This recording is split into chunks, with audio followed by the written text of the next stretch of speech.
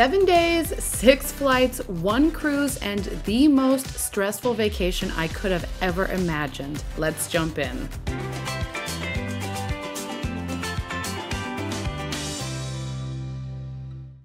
Hey guys, this is Allie with Cruise Blog. I am currently prepping and packing for probably one of the craziest trips I've ever thought of doing or thought that was a good idea of doing.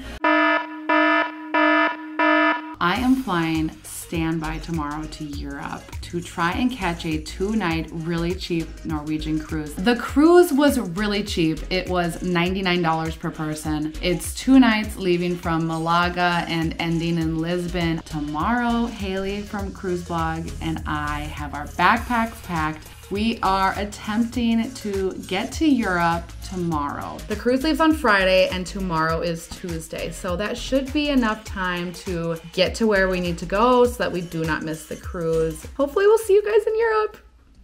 Having standby benefits is great because it means that we could fly to Europe for almost free, but I had two major concerns with flying standby to our cruise. First, we could not fly directly to Malaga where our cruise would begin. This meant we would have to fly somewhere else in Europe and then buy a separate flight to Malaga. Hayley and I settled on flying into London as there were a lot of standby options available. We could fly to many cities in Spain from London for easy access to Malaga. My second concern was making hotel and flight reservations within Europe. Since we didn't even know for sure if we would be getting to Europe, we didn't really want to waste money on flights and hotels. But I was nervous that last minute prices would be really high, thus negating the savings that we incurred by flying standby anyway. However, we were already too far committed to our plan to back out at this point, so we decided to continue with our plans despite the uncertainty. The next day, Hayley and I headed to the airport to try and catch our first standby flight, and luckily we were able to snag a spot and the trip started out pretty stress free. Once we got to our connecting city, we were assigned seats to London, much to our relief. I started to book hotels in London and Malaga while Hayley coordinated our flights to the cruise port. Shockingly, our budget friendly flights were no longer $50 to Malaga, but instead they had jumped into the 200 to $400 range, and that's even on a cheap budget airline we unfortunately are running out of options to get to where we need to go. We're panicking. So, our top choice was actually a $200 flight to Granada, which we attempted to book while our flight started boarding to London. But once we tried to book, there were actually no flights available. We instantly panicked as the other flights that were available were showing around $400 each on Ryanair to Malaga for our cruise. We were really shocked by these prices and we were panicking. But at this point, it was really our only option if we wanted to make the cruise. It's really expensive, and at this point, I don't think the idea was very cost effective. we were committed to the trip and the cruise at this point, so we booked the flights to Malaga literally as we walked on board our flight to London. And seeing how the prices had skyrocketed for that flight, we wanted to lock in a direct flight after the cruise from Lisbon to London on Wizz Air. At just $90 each, we wanted to get these seats confirmed, which we did quite literally as the plane's wheels lifted and we were off to Europe. We made it! Hello from London! Once we landed in London, we felt a sense of peace that the standby hurdle itself was over and we could enjoy our day in this wonderful city. With coffee in hand, we walked around the gloomy and quiet city in the morning hours. We were thrilled that we had an entire day before our next travel plans of flying to Malaga the following day. We did a really great job of leaving the standby stress behind as we took full advantage of our time in this wonderful city. We're heading to the airport. We had a nice 13 hour sleep.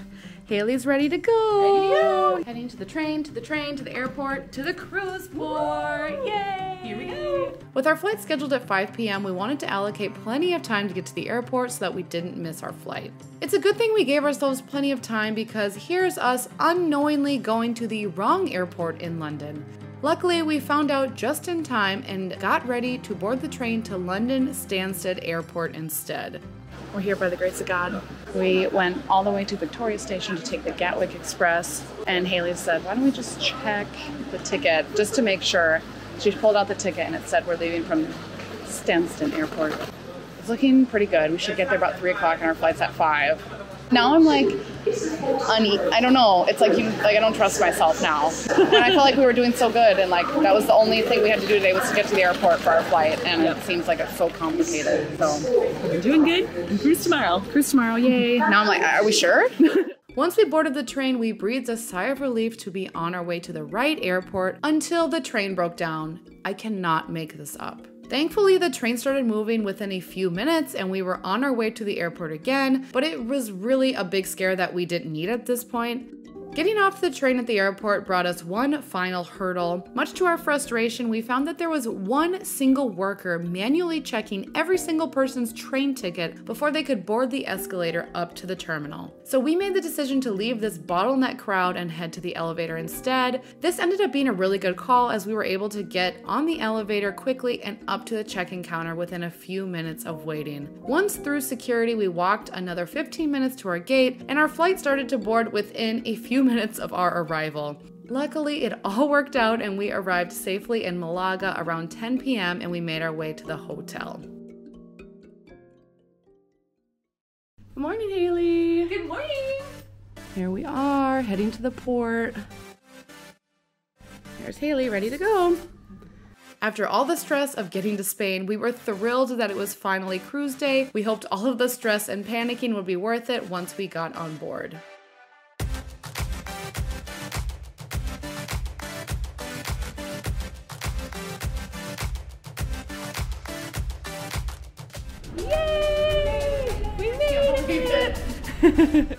The Norwegian Sun was launched in 2000 and it's Norwegian's second oldest ship. We quickly got on board and checked out our cabin, which was really quite spacious, although the bathroom was pretty dated with this lime green color that was pretty atrocious. Once we were on board, Hayley and I decided to explore Norwegian Sun. We also wanted to grab some lunch in the buffet because we had slept so late we missed breakfast at our hotel. I was pretty impressed by the food that was available in the buffet, although Hayley felt like the buffet on this Norwegian ship was really small and not very well laid out compared to the other Norwegian ships she had been on. We also decided to walk around the ship at this point and eventually we made our way to the bar to grab a mojito where we relaxed on the top deck for a little bit and took in the sights of Malaga off in the distance. It was nice to kick back and relax after all of the stress and panicking we had done to get to this point. We really just wanted to enjoy the quick getaway for what it was because this was the main goal of our trip and we were so excited to be on board Norwegian Sun because we would have felt horrible if we had missed our cruise and lost that money.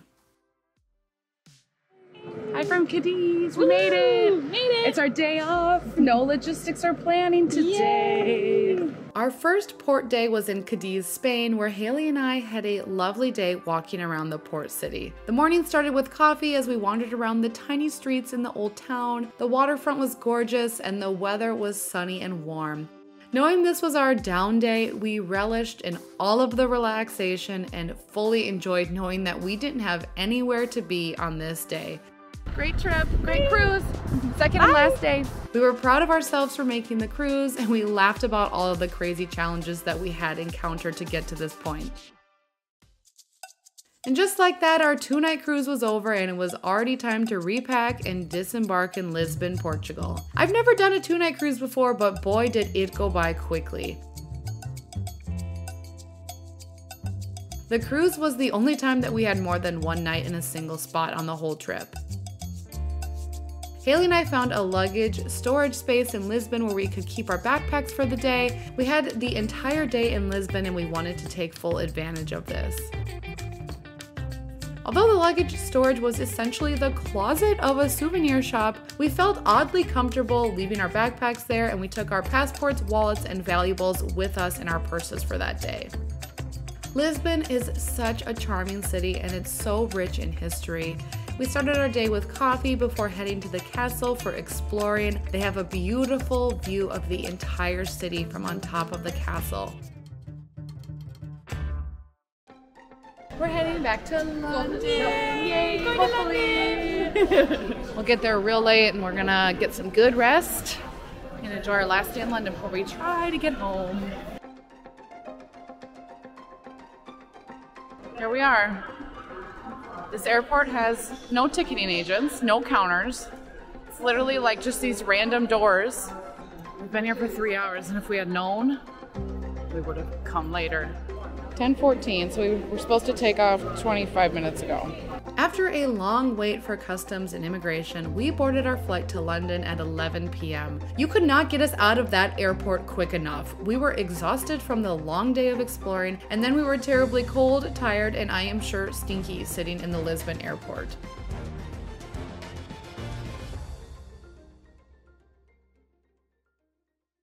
Good morning. 2 a.m. 2 a.m. We just made it to our airport hotel. Time for bed and a nice shower and good sleep. We're pooped. Morning. Our last day. Hopefully. Hopefully we get home tomorrow. Back in London, we spent one final day exploring the city again before getting situated and attempting to fly back to the United States the following day. Here we are trying to pack. We did a lot of souvenir shopping. We're hopefully heading home today. Our first flights look good to the States, second flight's home. Not so good. Could be another adventure today. Hayley and I arrived at Heathrow Airport and we quickly made our way through security into the airport lounge. Our flight still had plenty of seats, so we relaxed with coffee and breakfast. To our surprise, we were assigned a seat within an hour of the flight taking off, and we were so excited that we were sitting together and we were guaranteed at this point to be getting back to the United States, and that is a huge relief. We almost did it. Almost. We were on our way home and we had successfully flown standby to Europe and taken our cheap two night cruise. However, that's when things got much, much more stressful. Our final leg of the adventure sucks, and we don't know how we're gonna get home. None of the flights to our home airport had any seats available. We started to look at other airport options within a few hours of our home. We found a flight that was leaving in about 30 minutes as we made our way through immigration, but we didn't know if we'd be able to make it. She still smiles. Hi. Okay. Next step. Next step. All right, we're trying for a flight that's probably not gonna make. I mean, I feel like we might as well walk up to it. If it's like delayed a little bit, I don't know. Go, baby, go.